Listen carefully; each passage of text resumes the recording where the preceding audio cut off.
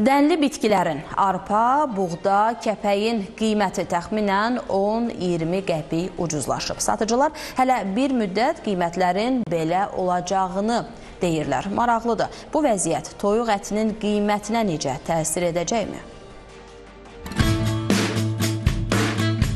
Arpa, buğda, kəpək kimi dənli bitkilərin qiymətində enmə müşahidə olunur.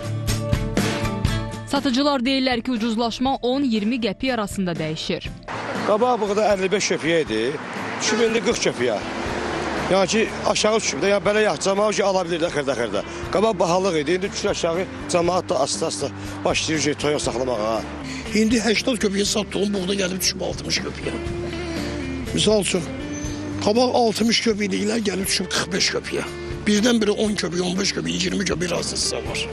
Kəpək idi, misal, qabaq 7 manata qalxmışdı, indi gəlib düşüb 5 manata. Birdən biri 2 manat. Bəs görəsən, dənli bitkilərin ucuzlaşması xüsusilə toyuq ətinin qiymətinə necə təsir edəcək? Belə qalsa 200 yaşağı toyuğun da qiyməti. Məsələn, qabaq baha idi, onun toyuq da bağlaşmışdı. İndi yem aşağı olsa toyuq 300 yaşağı inşallah. Satıcılar deyirlər ki, qarşıdan biçim mövsümü gəlir. Qiymətlərin bir qədər də enəcəyi ehtimal edilir.